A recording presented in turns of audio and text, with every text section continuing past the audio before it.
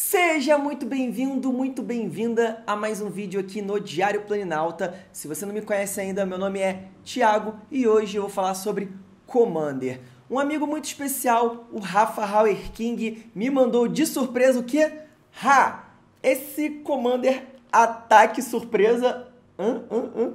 Commander B aqui do Anowom, esse menino azul e preto que é um vampiro ladino e tem essa mecânica aí. Além de ser um deck tribal de ladinos, também tem um pouco dessa mecânica de triturar, né? Que é basicamente tombar cartas do Grimório dos seus oponentes para o cemitério deles.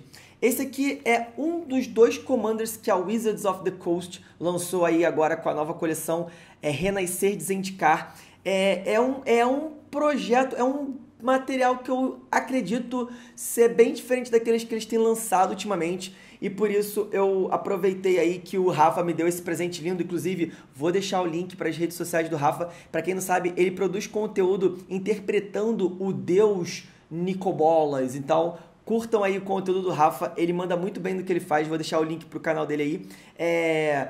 E hoje, aproveitando esse presente, eu vou fazer esse vídeo em três partes. Primeira parte vai ser um unboxing rapidinho para mostrar o que, que vem aqui dentro. Segunda parte, uma análise para falar sobre o deck, né? Ah, sobre o aspecto de é, sinergia, valor, cartas que vem nele, é, novidades, etc. Reprints.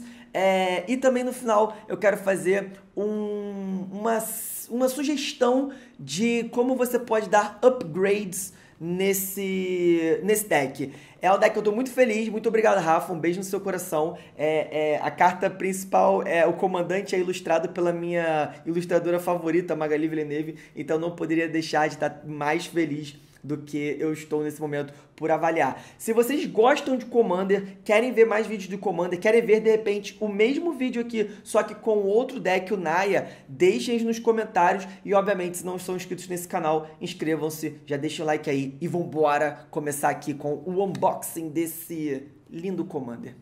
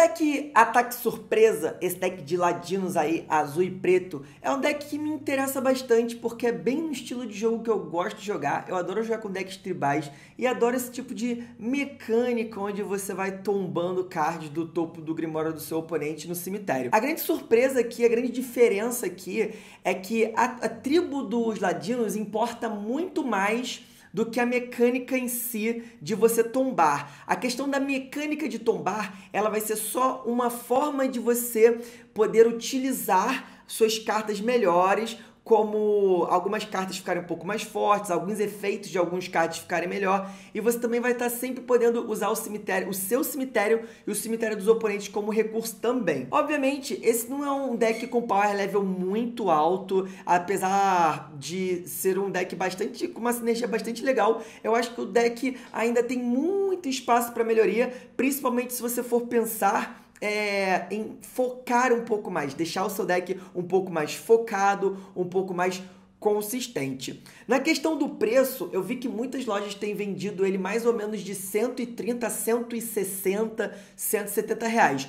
O deck hoje em dia ele tá valendo bem mais do que isso. Se você for pegar carta a carta, obviamente a grande maioria da, da, das cartas não vale nem um real, mas tem algumas ali que passam de 5, outras que passam de 10, tem umas que chegam a quase 20 reais. Então, se você for pensar no valor do deck carta a carta, ainda vale comprar ele ah, nesses valores mais altos, mas eu, se fosse vocês, eu procuraria numa loja que tem um valor mais em conta, porque tem lojas vendendo aí no valor bem legal, bem legal mesmo. Agora falando sobre os cards do deck. O deck tem três cards exclusivos, né? Ele tem o Anowon, o Ladrão da Ruína, a Daga de Aço Sussurrante e a Ladra Enigmática. O Anowon, ele é uma carta que me deixou muito animado, justamente pelo fato dele ser um, um ladino, que ele, ao mesmo tempo que ele dá mais um mais um para os ladinos, ele também tem essa questão de fazer com que o oponente mile, e nosso deck tem muita carta que é, não pode ser bloqueada, então os ladinos têm essa, essa questão intrínseca neles de, de serem ou difíceis ou impossíveis de serem bloqueados de alguma forma, nessa vazão muito boa. Então a Noon para mim é uma carta muito legal que o Magic trouxe aí nova, vai dar espaço para a gente é, buildar decks muito legais em volta, em volta dele. As outras duas cartas não me empolgam muito, principalmente o equipamento é uma carta que eu particularmente tiraria do deck, não acho que é, você tenha necessidade de, de jogar com ela, tem muitas outras cartas nas cores azuis e pretas que poderiam melhorar esse deck e entrar no lugar dessa daga. E já a Esfinge, eu acho uma carta bem ok. Se você faz ela no, curto, no custo alternativo dela, uma, casta, uma carta custando 4, 5, 5 voar, que ainda devolve uma permanente de cada oponente, é muito forte, mas o custo total dela de 7, né? Uh, não vai ser muito legal. Ainda assim, eu acho que vale a pena deixar no deck para você testar algumas coisinhas com ela. Passando para frente aí, duas cartas que me empolgam demais desse deck. São duas cartas que tem pouco reprint e tem o valor, o, o, o, cartas que jogam o valor do deck lá para cima um deles é o Sig, né? O Degolador do Rio. E a outra, Una, Rainha das Fadinas. Essa Una que é uma carta que eu tinha um tempão atrás. Ela tava no meu deck, em um dos meus decks que eu montei de Milar. Mas eu passei essa carta há bastante tempo. Eu fico muito feliz que agora eu tenho essa carta de volta na minha pool de cards para colocar no comandante. É uma carta que eu nunca dei muito valor, mas eu acho que nesse deck aqui ela cai perfeitamente e eu acho que é uma carta muito boa, uma adição muito boa que deixa esse deck um pouco mais valioso. Além disso, tem quatro outro, outras cartinhas que eu me amarro, são cartas que eu gosto muito de jogar com elas quando eu tô jogando de azul e preto, que são o Ladrão da Noção, essa aqui é uma carta que eu queria muito comprar para minha coleção já há um bom tempo. Ela não é tão cara, mas também não é tão barata assim. Eu fico muito feliz de finalmente tê-la na minha coleção. Lazave, Mentor dos Dimir, Aberração Consumidora e o Primordial Sepulcral. Quatro cartinhas aí muito legais em adição para esse deck. Agora falando sobre os ramps. É, eu não gosto muito particularmente da maioria dos ramps desse deck, apesar de que ele tem uh, algumas staples muito importantes, né? Como o Sinete Arcano, o Anel Solar e o Sinete de Mir. São três cartas muito boas e muito importantes nesse deck. A Esfera do Comandante eu acho uma carta bem ok e bem legal também. Eu não tiraria. Só que as outras, os outros, as outras pedras de mana, os outros ramps, eu já não sou tão fã. Primeiramente, o, a Pedra da Mente, ela apesar de só custar dois, ela só gera mana incolor e para você estourar ela para comprar uma carta, você tem que, sacri você tem, tem, que pagar um além de sacrificar ela. E os outros dois, o Medalhão de Mir e a Chave Rúnica, são cartas que custam três. Eu tranquilamente trocaria uma dessas duas cartas pelo Talismã da Dominação, o artefato de custo 2, né? Que vai gerar uma preta ou uma azul te dando um de dano. Ela tem esse, esse drawback de dar um de dano, mas digamos que ela é bem melhor do que qualquer uma dessas duas cartas. Passando pra frente, outra coisa que eu também não curti nesse deck são os equipamentos.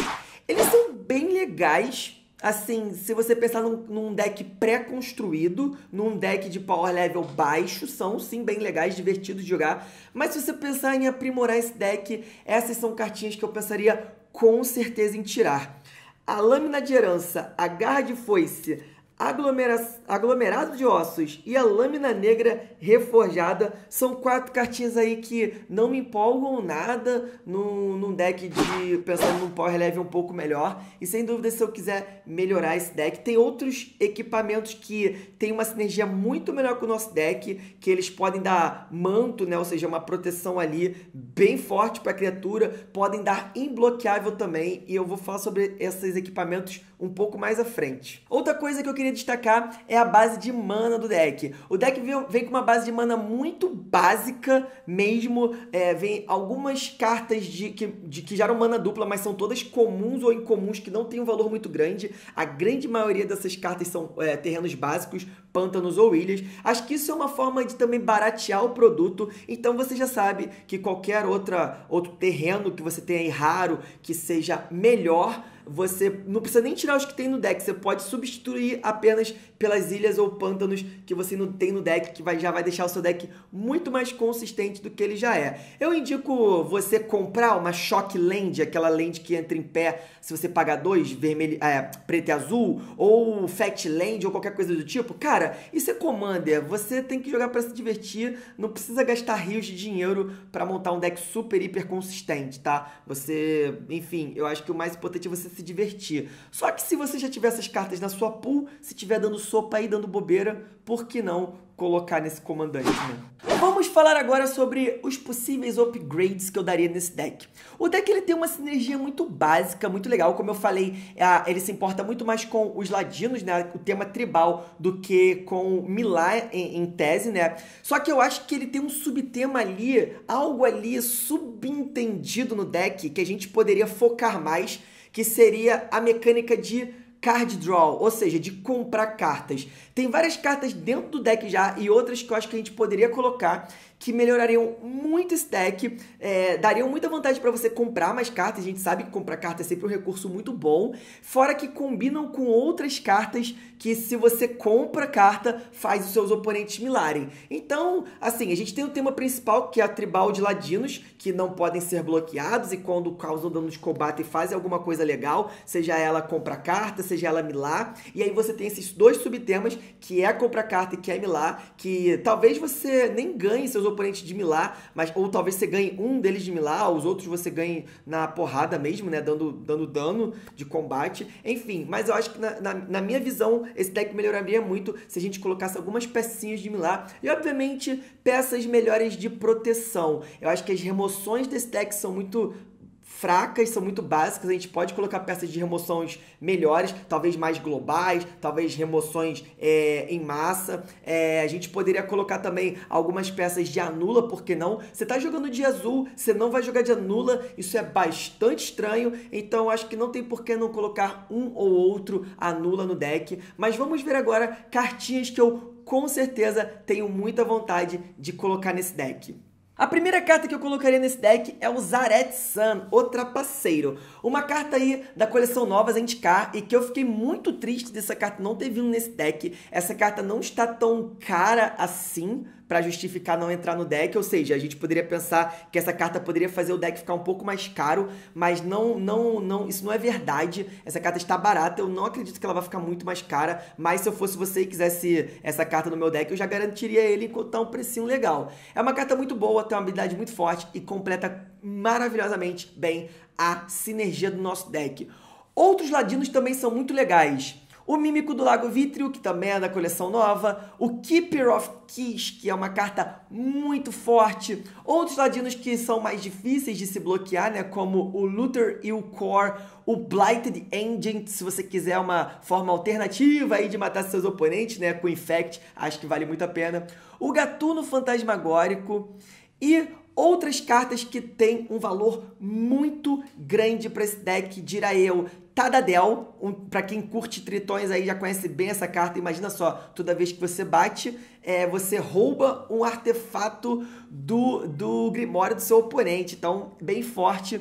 A impositora da Guilda dos Ladinos, talvez se você quiser entrar com uma coisa mais forte aí de milar, toda vez que um, um ladino entra em campo de batalha, você pode milar né, um oponente. Uh, de Mil Infiltrator é mais uma carta aí que é bastante difícil de bloquear, porque ele é imbloqueável, afinal de contas, mas ele também é muito bom porque tem o Transmute, né, uma habilidade que pode dar uma vantagem aí mais pro mid late game. E por último, por que não, mais um Lorde aí, Adaptive Automaton é uma carta que ele é basicamente uma staple de Commanders tribais, né? Ele não é uma carta muito cara e ele cai muito bem nesse deck, já que ele vai dar mais um mais um para todos os ladinos. Acho que ele é muito bom, uh, muito interessante para para uma alternativa de buffar ainda mais se você quiser ter mais poder com seus ladinos, né? Agora eu queria falar de outras cartas que não são é, criaturas, mas que eu acho que são must have dentro desse baralho. Primeira delas, Mind Crank, toda vez que o oponente perde vida, elimina aquela quantidade. Bem, você está batendo o tempo todo nos seus oponentes com seus latinos imbloqueáveis. Então, o tempo todo eles vão estar tá milando não só pelo seu comandante, mas também pelo Mind Crank. Eu adoro esse artefato. Lembra que eu falei mal dos equipamentos? Então, porque nós temos equipamentos melhores.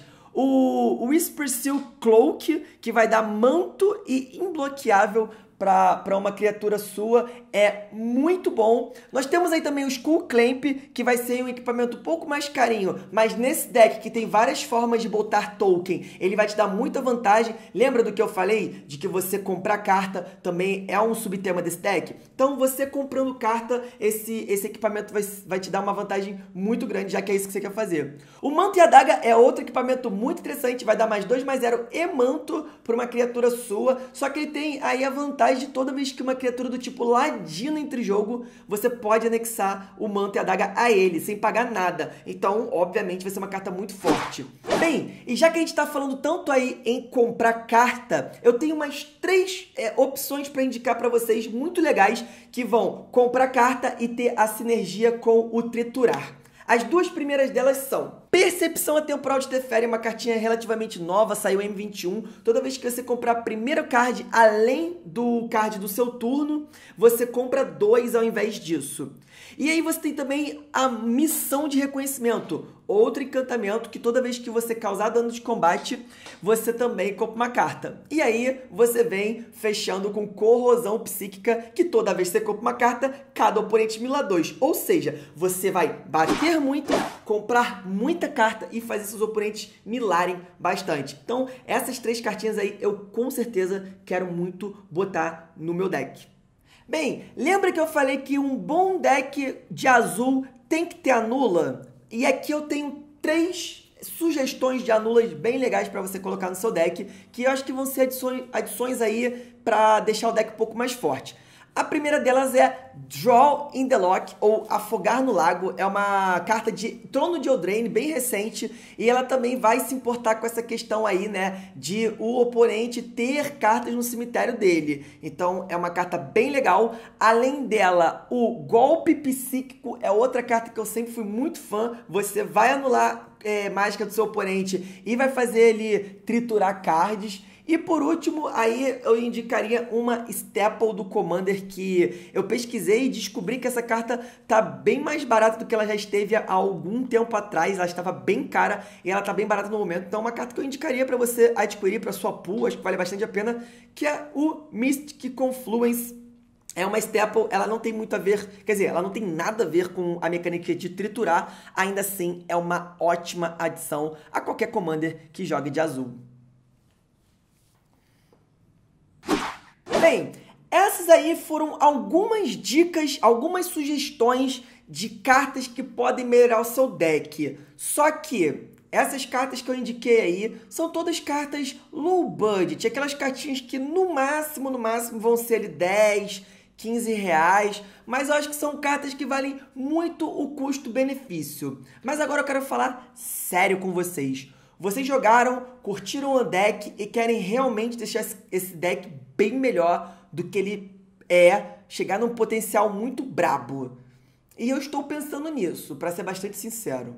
Mas para isso, obviamente, vocês vão ter que desembolsar um pouquinho a mais de dinheiro. E é por isso que eu tenho algumas cartinhas aí bem fortes, porém bem caras para indicar para vocês aí. Então, vamos começar com o Caloteiro Descarado, por que não? Essa carta maravilhosa de Eldraine, que é um feitiço que devolve a uh, permanente para a mão do seu dono, né? E depois vira aí o que? Uma fada ladino com voar. Essa carta é, é uma carta maravilhosa e que se encaixa perfeitamente nesse deck Pena que está um pouquinho cara. A mesma coisa acontece com Rankle, né? Que também é de Eldraine e que, nossa, é uma carta custo 3, custo 4, 3, 3, voar em ímpeto e que tem três habilidades que vocês, po vocês podem escolher que vai fazer cada oponente ou descartar a carta, ou comprar a carta e perder um de vida, ou sacrificar uma criatura. Bem, muito forte esse, esse Rankle, não é à toa que ele está bem caro. Falando sobre cartas novas, nós temos o Necrófago Falcão da Noite aí, o, o Tarmogoyf Vampiro Vampire Nighthawk, né, para quem entende referências. É uma carta que também é muito forte, mas também não tá muito barata, ela acabou de ser lançada, né, mas quem sabe aí talvez vocês consigam abrir ela num booster se vocês estão comprando é, material aí da, de Zendikar nova. Outra cartinha muito forte aí da coleção nova é a Mergulhadora Celeste Ladra, custo 221, reforçar X. Ela tem voar, é um ladino, então isso é muito bom pro nosso deck. E quando ela entra em campo de batalha, ela simplesmente rouba o artefato de custo X ou menos. Se for um equipamento, anexa ela. Quem não quer roubar artefato no mesão de Commander, não é mesmo? Mas infelizmente essa carta também está carinha. Agora vamos falar de cartas um pouco mais antigas, mas que também caem muito bem nesse deck. A primeira delas é a Taça.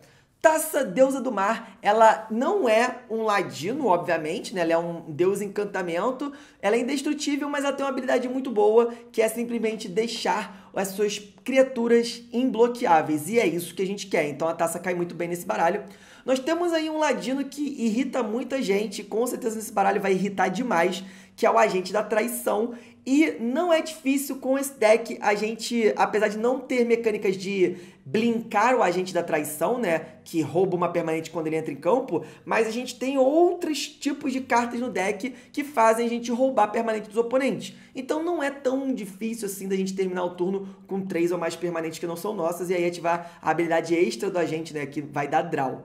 Além disso, nós temos Dominância da Estirpe, que é uma ótima remoção pra gente, já que nosso deck é tribal, então a gente escolhe aí a tribo que a gente controla, que é Ladinos, e aí destrói todas as outras criaturas que não são daquela tribo. É uma carta muito forte, cai muito bem no nosso deck. E a última carta vai ser a Exploração da Sabedoria. Ela, apesar de ter um custo muito alto, você consegue fazer ela por espreitar, e aí esse custo dela de 4, para você procurar no Grimório do oponente por um card mais que é o feitiço e conjurar sem pagar o custo de mana, é um absurdo. Imagina, você paga 4 e procura qualquer coisa que você quiser, seja feitiço ou instantânea, no Grimório dos seus oponentes, e, cara, faz de graça. Essa carta é muito absurda de forte.